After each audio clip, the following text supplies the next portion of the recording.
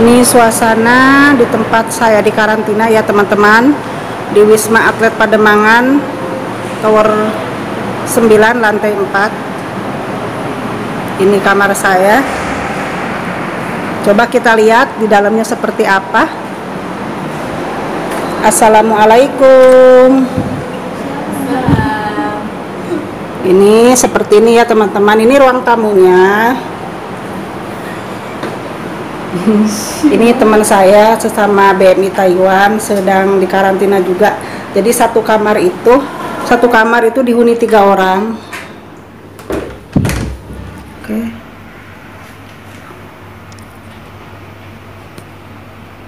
Seperti ini ya teman-teman di ruang tamunya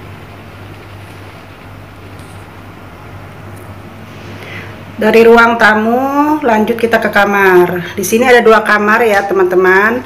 Yang satu kamar isinya dua tempat tidur, yang satu kamar lagi isinya satu tempat tidur.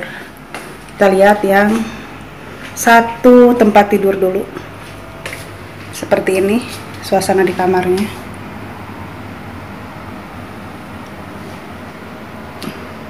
Ada AC-nya juga.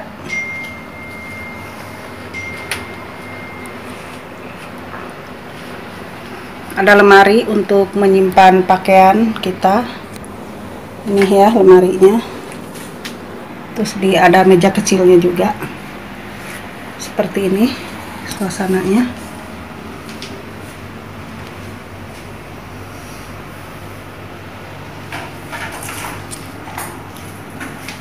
Sekarang kita beralih ke kamar yang sebelahnya yang diisi dua tempat tidur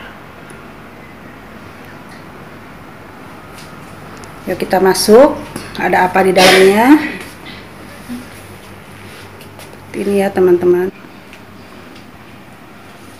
Ini jendela kacanya bisa dibuka ya teman-teman. Untuk pergantian udara kalau pagi ini. Itu yang sebelah itu teh tower lantai 10.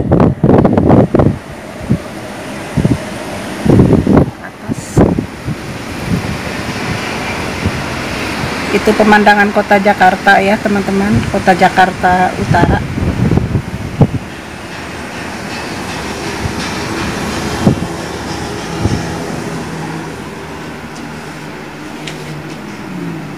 ini ada kaca, ada AC juga.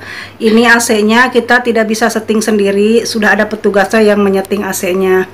Lain kali kalau teman-teman kalau mau masuk ke sini, minta ke petugasnya setting AC-nya berapa celcius biar kalian jangan kedinginan. Saya kemarin kedinginan banget ya karena di settingnya terlalu besar ya sama petugasnya karena saya gak suka AC jadi di settingnya harus kecil. Ini seperti ini penampakannya di ruang sebelahnya. Kita naruh tas di sebelah sono ya ada mejanya aku naruh tas di sini. Ini lemari. Ada lemarinya juga. Tuh.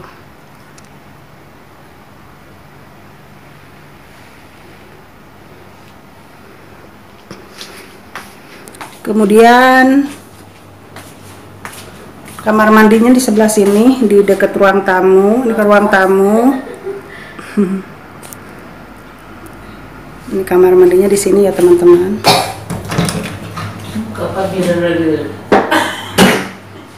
Tuh di sini. Suasana di kamar mandinya ada water heater juga ya. Waduh saya kelihatan nih perutnya. Di kaca. Yang nyutingnya kelihatan ya teman-teman. Tuh seperti ini ya. Ada shower. Biasanya WC duduk. Seperti itu Tuh ulangi lagi. Motor maklum ibu-ibu nih.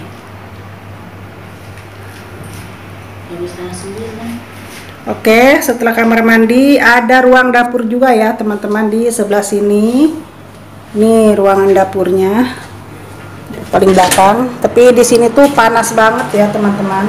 Karena ini nggak ditutup gitu, ruangan terbuka. Ini ada buat kompor, ada buat nyuci piring. Seperti ini ya di ruangan dapurnya.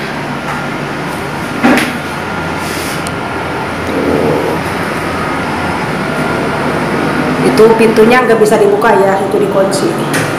Terus ke sebelah samping sininya ini ruangan terbuka buat AC ya teman-teman. Ini buat naruh jemuran di sini. Cukup panas banget di sini teman-teman. Karena ada AC ya ini buat jemuran. Mungkin kalian ada yang mau jemur-jemur pakaian dalam atau jemur baju di sini. Cepat keringnya. Oke kita masuk lagi ke dalam ya.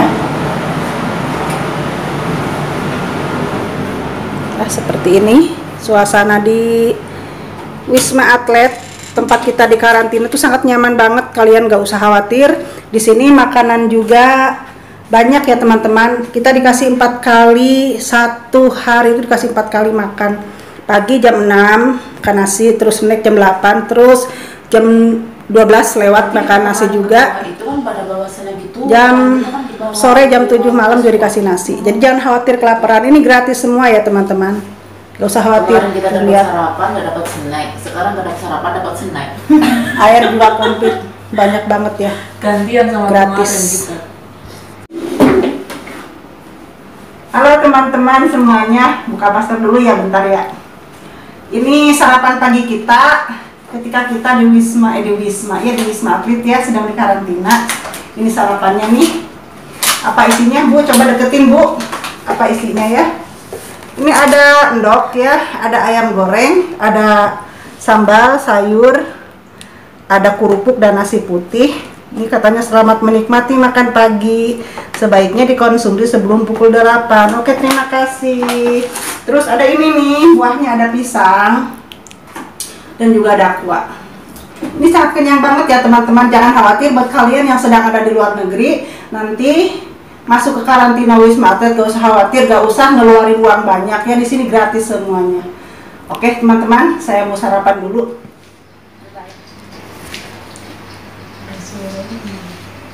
Ini snacknya ya teman-teman. Kita kalau ngambil snack itu jam 8.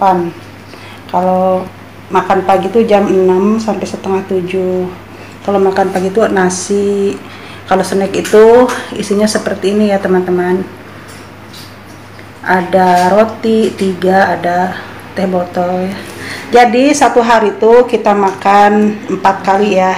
Pagi kita dapat nasi, terus yang kedua itu snack, yang ketiga itu siang tuh nasi terus malam jam 6 atau jam 7-an kita dapat nasi lagi jadi gak usah khawatir ya teman-teman di sini tuh kita kenyang jangan takut